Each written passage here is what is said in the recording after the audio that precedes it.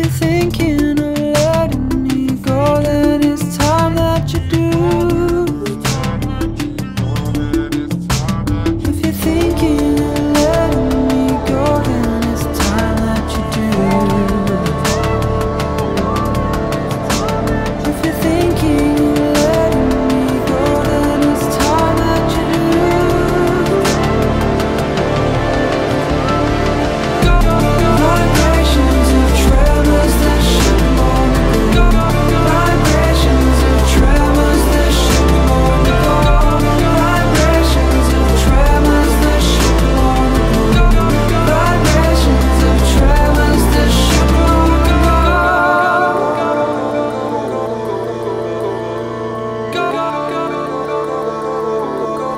ship long ago.